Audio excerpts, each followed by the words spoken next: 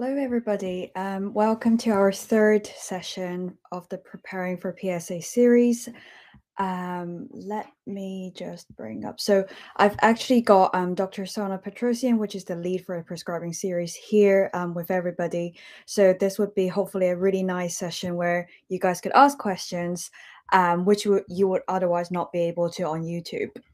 Okay, so if I um, just move on to the next slide, really happy to be partnered and sponsored by Wesleyan. Um, again, they're an excellent company to help you on your first day of financial year training um, in terms of finances, your well being, and your other life planning.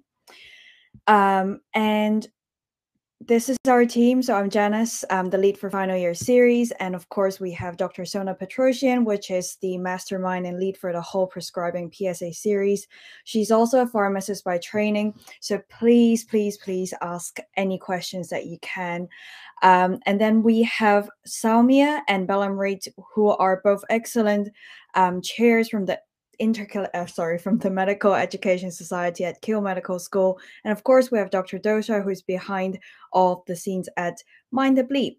So um, the next thing is we're actually recruiting penultimate or final year medical students to join um, our final year series serve team and we're looking for representatives and um, the applications are actually now active so if you guys follow the link on the slide you guys can all apply and we really look forward to seeing your ideas and your application and of course, before any series, this is our disclaimer. The PSA series for Mind the Bleep has been created by junior doctors who have a passion for teaching entirely on a voluntary basis. The aim is to teach from experience and help come the um, sort of exam anxieties. Um, the lecture slides and teaching content are accurate to the best of our knowledge. Um, that neither us or the Mind team take responsibility for any inaccuracies. And please refer to the um, full terms and conditions on Mind Bleep for your reference. Okay, so today, um, this is our session three on adverse drug reactions. This would be your section six in your PSA. So this is quite an important session and also quite easy to handle once you know the basics. Of course, upcoming we have um, prescribing in medical emergencies and calculation skills. Um, and this would be um, the fourth and fifth session in the series. Um, and then upcoming, we also have medicine and surgery, information giving, ops and gynae, which will go through the um, oral contraceptives, GP psychiatry, drug monitoring, interpretation, and the last session would be Q&A, which is a final session to help everybody where that you can ask your last bits of questions before your exam. Again, we follow the blueprint from the PSA um, when we design the teaching sessions, and today we'll be focusing on adverse drug reactions. The structure would be we'll be covering um, really common adverse drug reactions like renal liver impairment, common drugs, opioids, benzos, antipsychotics, um, imbalances in electrolytes, medication adjustments. Um, for the topics on DKA, DOACs, warfarin, these would be um, discussed in the drug monitoring um, sessions and also the medical emergency sessions. Um, I think from last time, a lot of people ask us why do we switch between Medicine Complete and BNF? So BNF and BNF Children is really great for treatment summaries, um, and I feel like they're really good for like referencing in the exam. Medicine Complete, as um. Petrosyan has pointed out in the first session, and I really, really encourage everybody to watch session one on YouTube, where she actually demonstrates how you use the interaction checker and how why Medicine Complete is an easier um, and more user-friendly website. So, um, for adverse drug reactions, there are four types of questions mainly. So you have type A, where you they ask you actually about the specific adverse effect of um, different common drugs. For type B, it would be about um, like how the adverse adverse drug reaction affects the body system, like the kidneys, the liver, electrolyte imbalances. And then type C would be your interactions, so your favorite best friend, um, CYP inducers and inhibitors. Your type D would be um, a more sort of, you know, the drug reaction, but you have to plan the management in order to help the patient. So, question one We have a 58 year old woman in the gastro clinic who has been advised to start taking methotrexate 7.5 milligrams weekly for the treatment of IBD. The question is asking, please select the adverse effects that is most likely to be caused by this treatment. If you have Medicines Complete, please use Medicines Complete to complete this question and pause this video now um, before I review the answer in the next slide.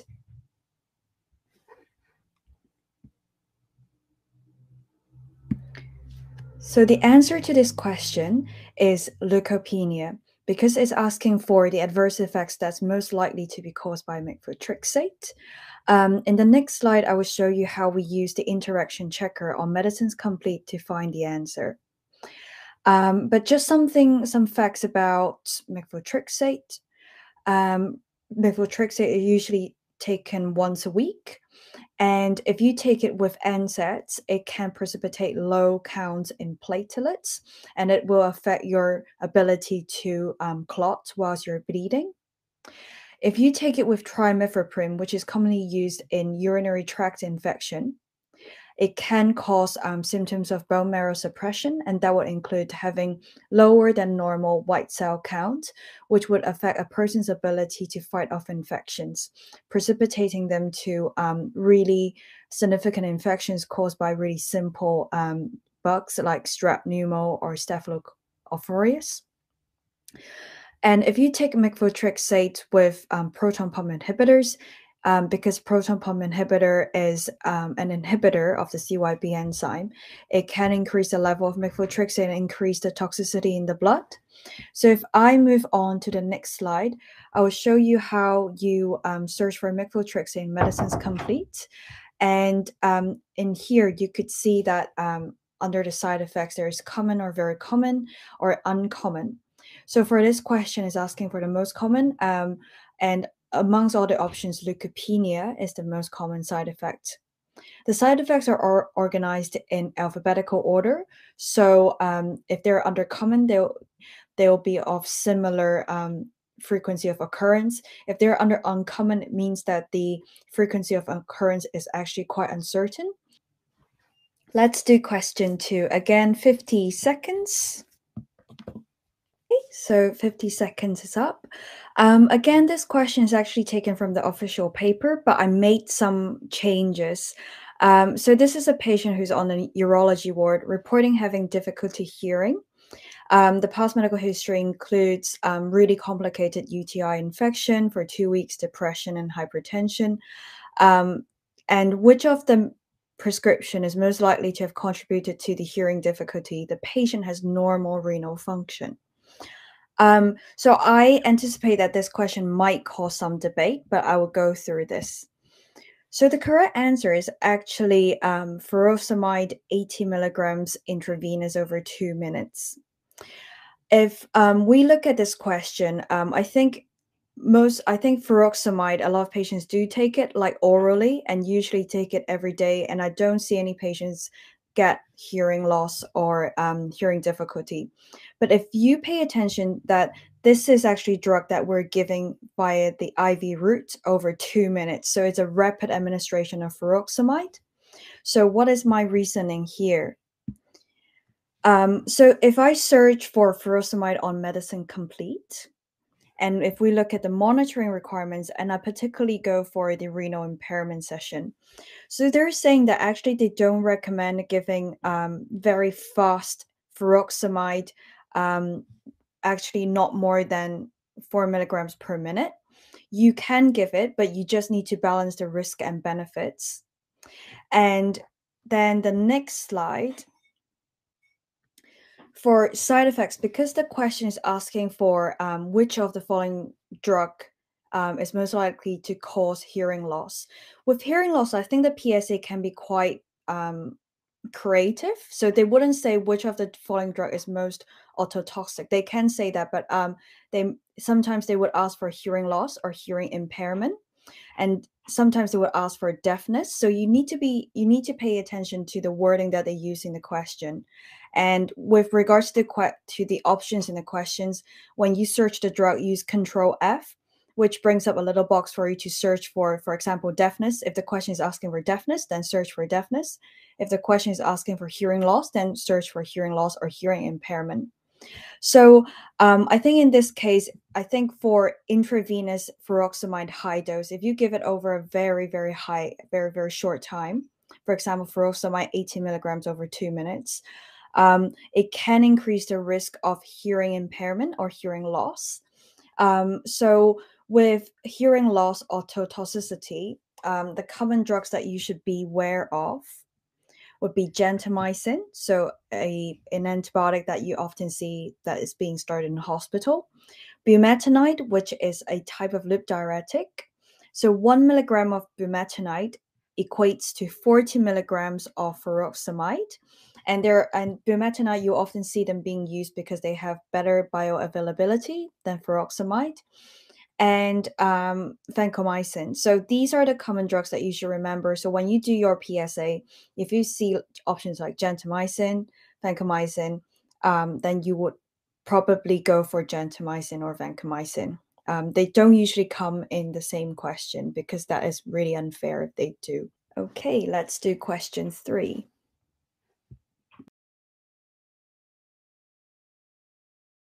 Okay, so that's um, around one minute. Um, so Clostridium difficile, it's a really common question. And um, this question, the answer is actually coamoxiclav.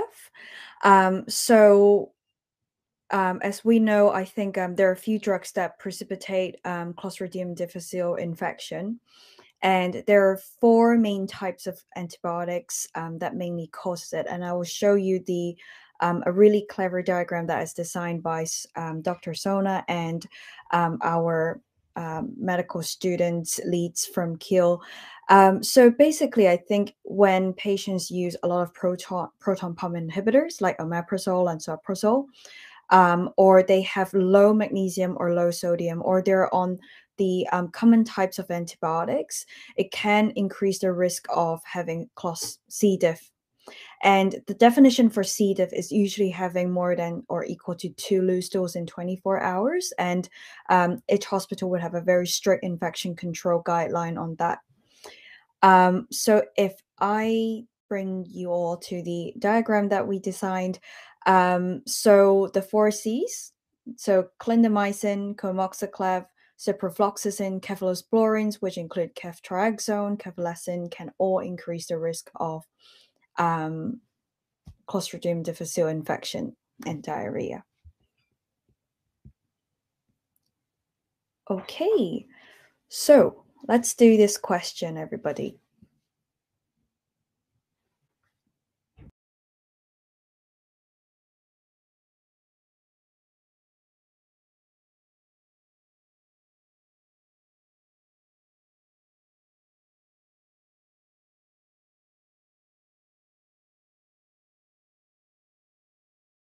Um, I've seen someone put in the answer already.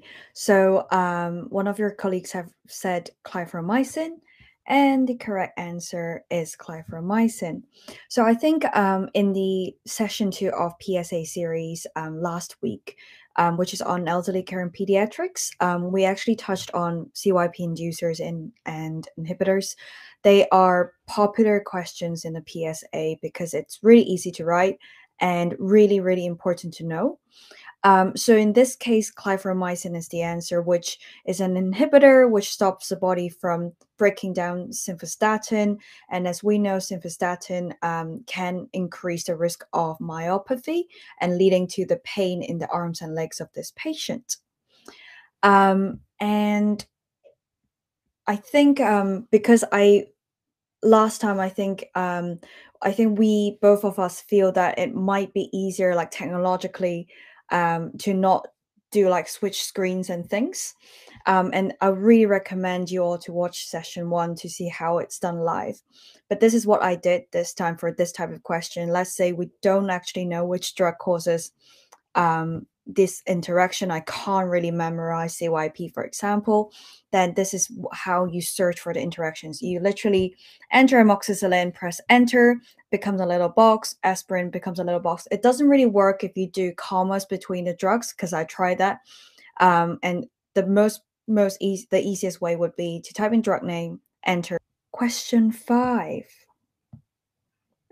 Um, so this is a question looking at how um, what is causing the presentation. So this question is actually being very kind because it tells you that it's potentially serotonin syndrome. But let's say we don't actually get this information from the question stem. So this patient presents with a headache, nausea, sweating, and tremor and he's also taking citalopram. Um, on examination, he has dilated pupils and really, really exaggerated reflex reactions. And because of how accurate this patient was presented, this is most likely um, serotonin syndrome. Um, and the question is asking which drug interaction actually causes serotonin syndrome. And the answer is actually tramadol hydrochloride. So let's say I, I really don't know what causes this interaction. How do we look for the answer? Again, you go to Medicine Complete. And this is what I did. I type in all the questions, including the um, drug from the question stem, which is citalopram, which the patient is on. I type in all the five options from the MCQ. And actually, it's citalopram and tramadol that actually increases the risk of serotonin syndrome and the rest would cause CNS depressant effects. So, like drowsiness, unable to answer questions, um, like sluggish reaction to pain, for example, would be CNS depressant effects. Um, and any questions so far? I I saw one question already, um, but any questions about the question that does not make sense? Okay, so I will gently move on. Um, so common toxic effects. Um, I think because of how limited amount of time we have today, we can't really go through all the questions, but common um, toxic effects would be opioids. So, like opioid overdose, it's very common, commonly asked in the PSA, and in the question stem, you often see someone with really small pinpoint pupils, um, maybe not re- uh, responding to any questions or any voice or pain. Um, you noted that the they're breathing at around maybe five or six per minute rather than 12 to 13 per minute. And usually the antidote would be intramuscular naloxone for 100 micrograms every two to three minutes. Um, and this would be the antidote and you repeat that every two three minutes um, and also remember to call for help in real life um, if you really, really can't remember um, most of the drugs like benzos or amphetamine, etc., in Medicines Complete or BNF, just search for poisoning, and then the treatment summary would come up, and you would see common um, toxic uh, reactions to drugs that would help you in the exam. And I've put in this diagram just to help us put in in in in our mind like visual representation of what the pupils look like for different common drugs. Opioids typically cause small pupils. Big pupils would be caused by um, LSD, um, some opiates, which is quite unusual, cocaine, um, LSD, etc. Okay, so question six. This is about a 35 year old woman who attends her GP for a medication review. Um, she's currently just been started on um, microgynon 30, and the question is asking for you to see which drug is most likely to interact with microgynon 30 to reduce the contraceptive effect. If you like to use Medicines Complete, please do, and please pause the video before I review the answer in the next slide.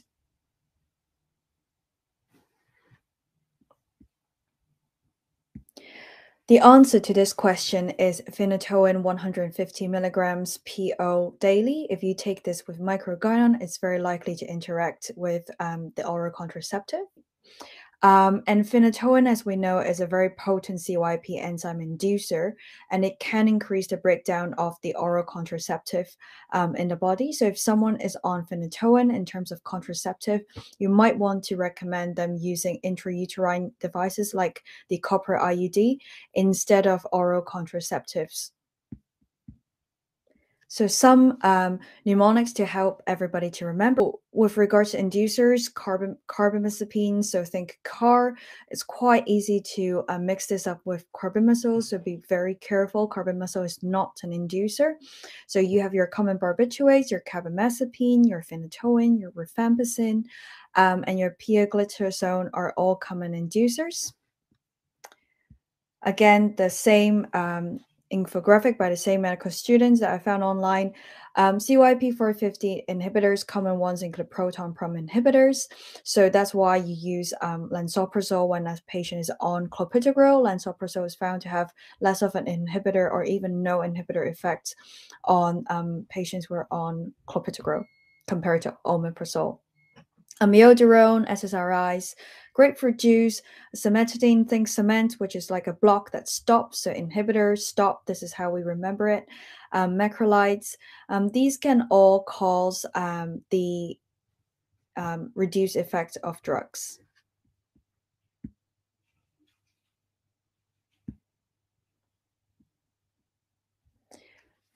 So, question seven. This is about a 45 year old man who's present to the emergency department with tremors, muscle rigidity, and a slowing in his movements.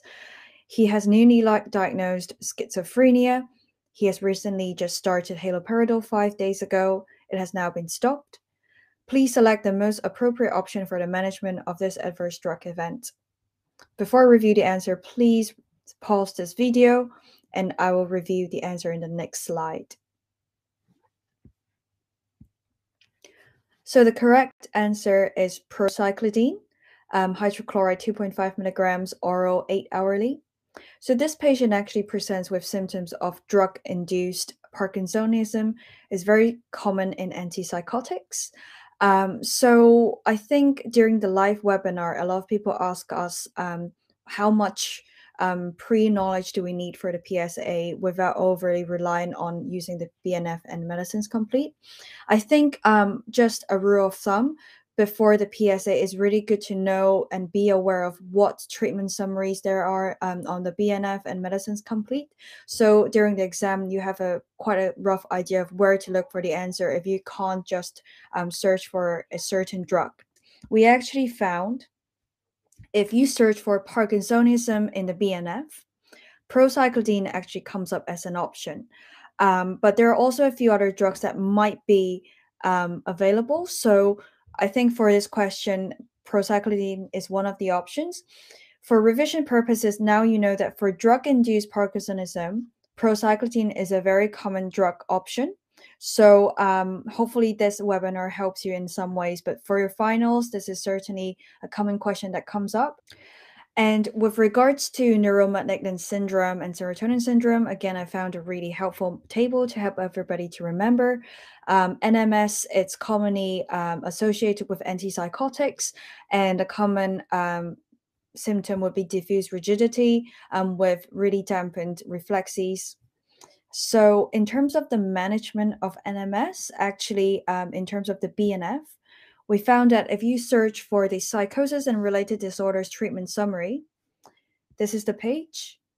And then within there, you because I'm using a Mac, so I used um, Command F on my Mac. But in a Windows computer, it would be Control F. And then if you search for neuroleptic, actually the paragraph on neuroleptic malignant syndrome appears under the treatment summary for psychoses and related disorders. And then in there, you could see that bromocriptine and dantrolene have been used for treatment.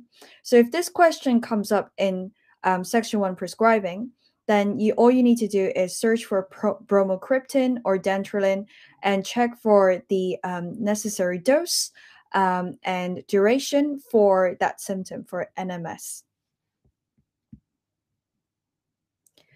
So, um, just a summary table for adverse um, effects of common drugs like benzodiazepines. um, antipsychotics. So um, I think for antipsychotics in particular, for typical ones like chlorpromazine or haloperidol, um, apart from drug-induced Parkinsonism, we're also worried about acute dystonia and also tardive um, dyskinesia. And most commonly, I think for um, atypical antipsychotics, which are the newer newer antipsychotics like quetiapine or olanzapine, they most commonly um, causes gain in weight.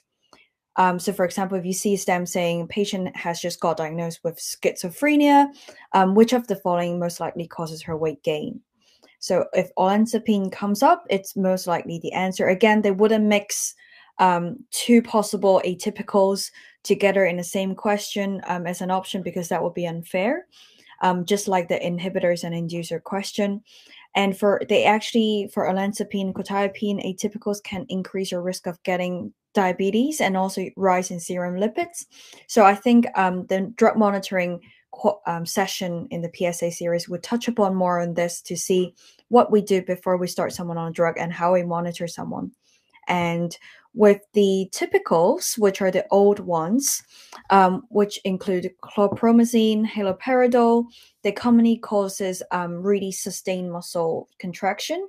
And you also see like restlessness, and you could also see tardive dyskinesia, which um, some patients would do facial grimacing, lip smacking, and um, sometimes you do see that in, in patients.